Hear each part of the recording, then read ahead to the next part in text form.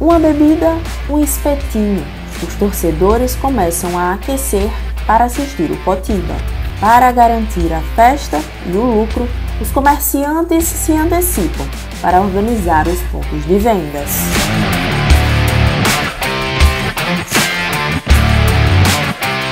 Nós costumamos chegar aqui uma hora da tarde, que é três horas antes do jogo, para armar a tenda e tudo.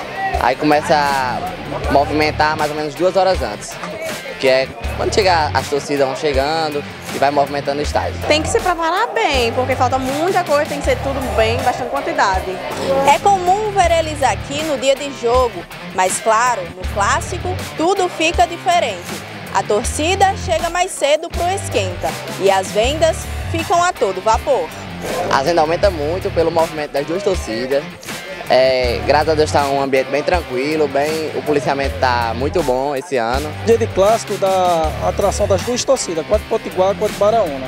Quando é geralmente um Potiguar ou Baraúna jogando com outra, outra equipe, a torcida da outra equipe já é pouca gente já. Mas aqui no estádio a gente já pode ver a concentração de torcedores maior, tanto Potiguar quanto Baraunas.